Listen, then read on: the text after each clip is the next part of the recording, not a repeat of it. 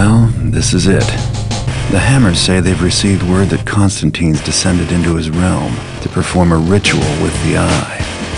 The Hammers have built me a booby-trapped counterfeit eye. If I can swap it for the real thing, it should cause him some trouble. If he doesn't notice me. I've never robbed a god before. It'd be a challenge.